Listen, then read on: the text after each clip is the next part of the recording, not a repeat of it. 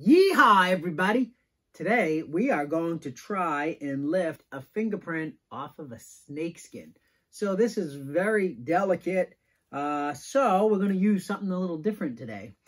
You saw in some of the other videos that I did, we used a feather brush with our fluorescent powders. Well, I'm going to use a feather brush, but I'm going to use a regular black powder because this is so fine.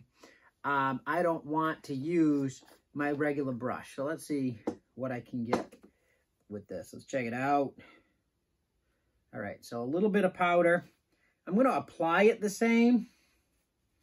Um, still doing that twisting technique as I'm dusting.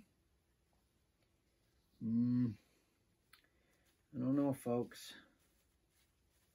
Let's see a little bit more. I'm adding more than I want to. Let's see what we got. I'll try the back side here. Easy.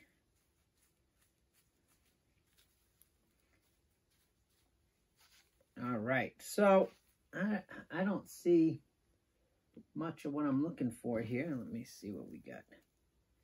Mm, I don't really see a good print on it. I'm going to try to lift it and see if I can't get anything. So I'm using a gel lifter again because it's not super sticky. If I tried to use regular tape, that would probably pull this thing right apart. So I'm just going to use this gel lifter. Oh, made an error. I didn't shut my, my powder. Shame. That's a shame. Okay, so I'm going to take my gel lifter and apply that to my snake skin.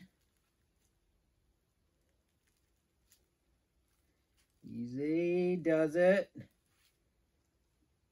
All right, let's see what we got. Oh my gosh, we got it. These are great. I'm going to show it up here so you know I'm not BSing you, but I'll put it in for a close-up. Holy moly. Will it fingerprint?